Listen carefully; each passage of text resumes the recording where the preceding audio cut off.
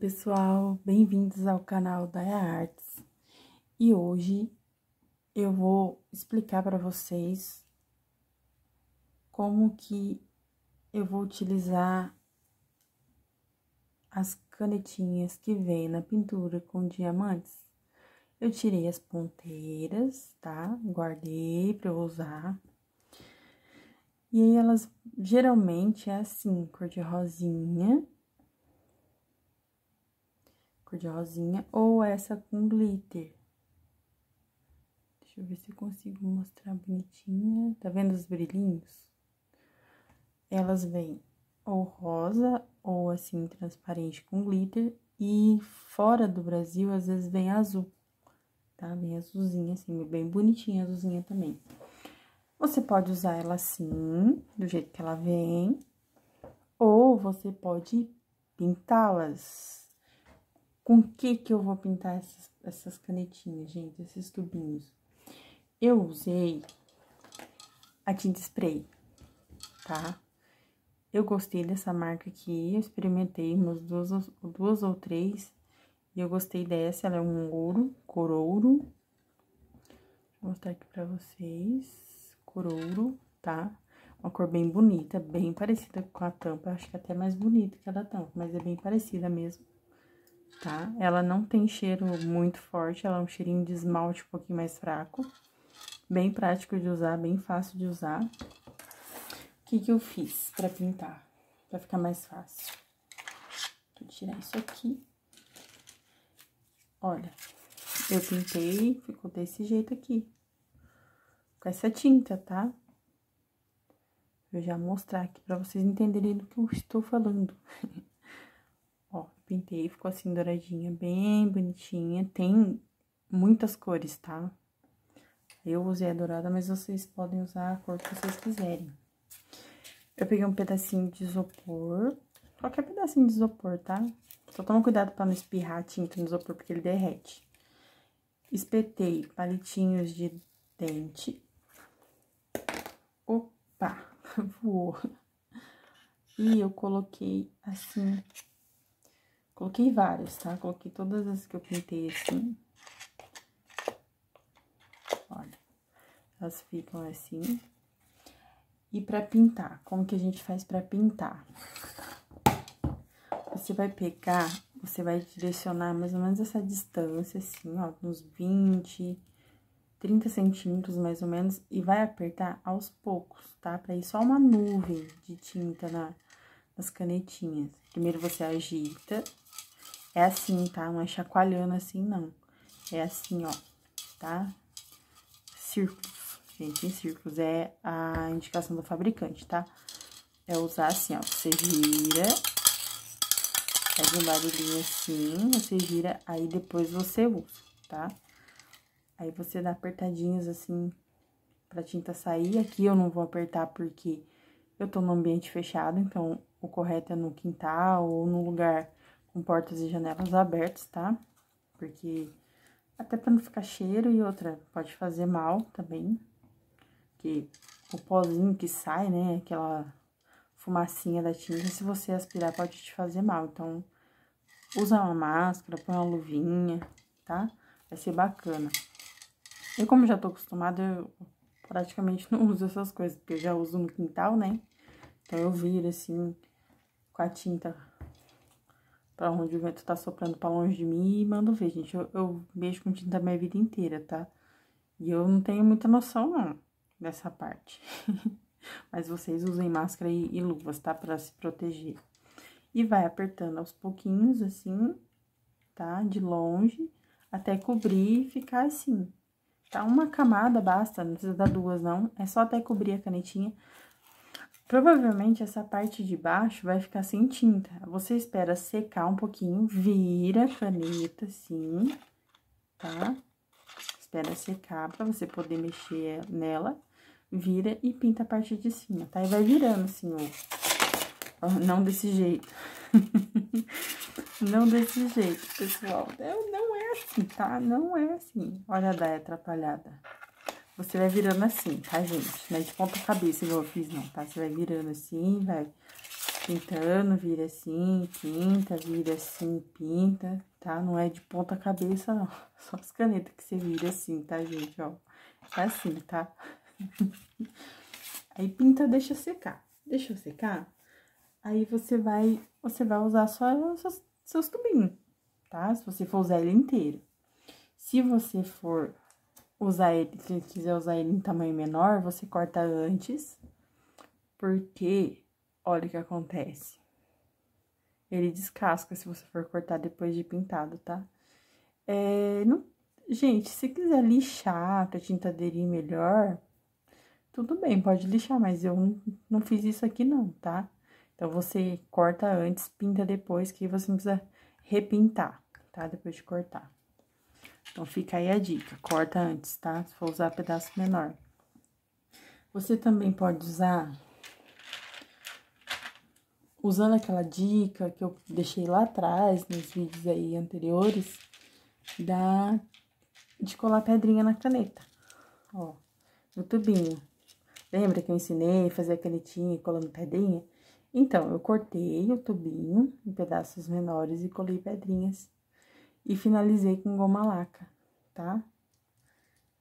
Esse aqui era uma caneta, eu cortei, inclusive.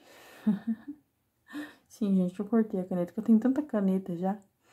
Então, eu cortei em três, cada tubinho desse eu cortei em três. E as pedrinhas coladas, ó. Tô preparando uma ideia com elas, tá?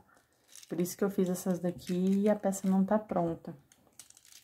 Mas com os tubinhos que eu pintei, eu fiz uma peça para mostrar para vocês o que eu fiz, tá? Eu não, hoje eu não vou explicar a peça.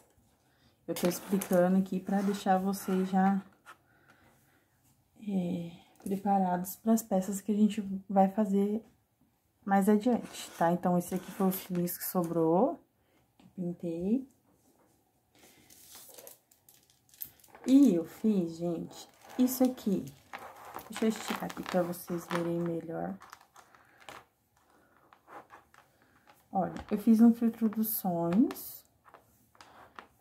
Usei uma argola de acrílico, borboletas de acrílico, uma aqui e outra aqui, tá? Miçangas de variadas formas. Esses daqui são búzios de acrílico, acho que é acrílico ou resina, tá? Sangas e cristais de vidro, tá? E aqui é macramê. E aqui usei as canetinhas, olha, eu trouxe pra vocês verem uma peça que é possível fazer usando as canetinhas. Eu não cortei, poderia ter cortado, mas não cortei. Usei inteiro. Deixa eu mostrar bem de perto agora. Olha só, pérolas, cristais, peças de acrílico, fio encerado. Esse cordãozinho aqui é fio encerado, tá? Miçangas, pérolas, bolinhas de madeira, enfim, usa o que você tiver aí. É, pode ser material reutilizado de bijuterias que quebrou, que você não usa mais, tá? Não precisa necessariamente comprar materiais para fazer essa ideia. Se por um acaso, vocês quiserem que eu traga a explicação de uma peça parecida com essa, gente, porque eu não consigo fazer igual. Eu tenho esse pequeno problema aí quando eu trabalho, porque eu faço peças é, personalizadas, então não consigo repetir o mesmo trabalho, tá? Eu posso trazer uma no mesmo estilo, até mesmo com as canetinhas, ensinando como que faz o macramê. Eu não sou expert em macramê, tá? Tô aprendendo ainda. Então, eu posso ensinar pra vocês como que faz. Isso aqui é bem simples, tem muito vídeo aí na internet ensinando também, tá? Então, recomendo que vocês assistam os vídeos dos amigos aí do YouTube.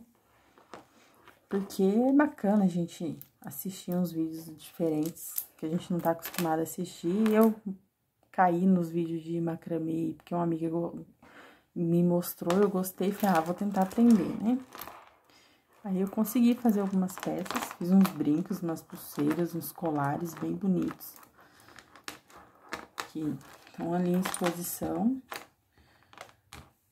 É, hoje eu não vou mostrar, posso mostrar mais pra frente. Fazer um vídeo, talvez, gente, se vocês querem que eu traga um vídeo mostrando as peças que eu tenho no meu ateliê aqui pronta.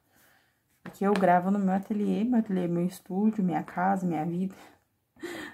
Gente, eu passo a maior parte do dia aqui dentro do ateliê. Então, só falta um banheiro e uma cama aqui, viu? É...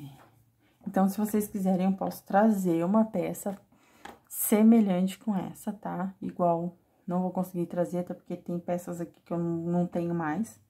Eram peças que nem essas daqui, são peças únicas, né? Essas amarelas aqui. Essas daqui também, peças únicas, então vai ser difícil trazer de novo a mesma peça. Eu não gravei fazendo essa peça, mas eu posso explicar como que faz pra vocês. Então, é só deixar aí nos comentários, deixar um like, compartilhar com os amigos os meus vídeos. Tem bastante vídeo aqui já no canal. E vocês têm gostado dos meus vídeos, então gratidão, pessoal.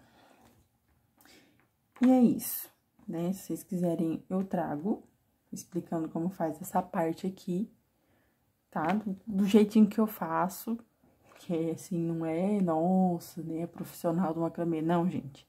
Meu negócio é pintura, tá? Eu gosto de pintura, eu trabalho com pintura em gesso, MDF, é... Gente, eu pinto tecido, eu pinto, já pintei minhas unhas, eu fazer desenho na unha, enfim né? Eu faço muitos trabalhos, assim, eu pinto tela também. Inclusive, tem uma tela para eu reformar. Talvez eu, eu grave algumas coisinhas para pôr aqui no... para vocês verem. Eu tenho umas peças de gesso para reformar também, para restaurar.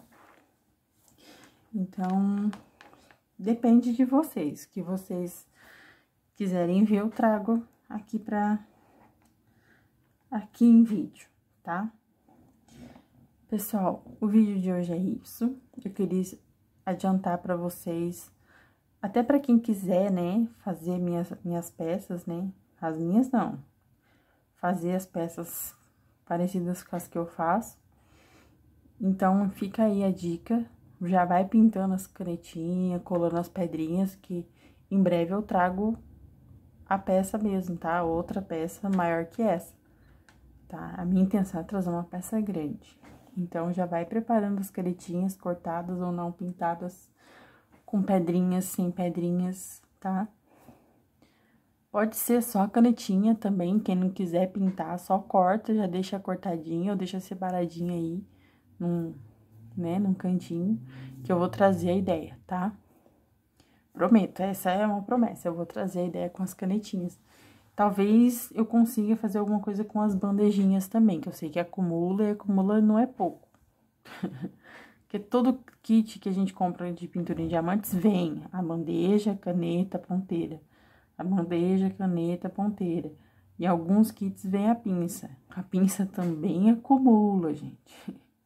também acumula. Então, assim, a gente acaba juntando muita coisa. Então, vamos dar um, um destino bacana para essas coisas que não seja o lixo, né? O planeta agradece. Pessoal, vou ficando por aqui. Esse é o vídeo de hoje, um vídeo curtinho, explicativo, tá? Só para vocês já irem se preparando aí para as próximas ideias. Tá bom, pessoal? Gratidão os novos inscritos. Espero que vocês fiquem muito tempo aí com a gente aqui no no canal, na nossa família da Arts. Quem já é inscrito há bastante tempo, gratidão para vocês também, família.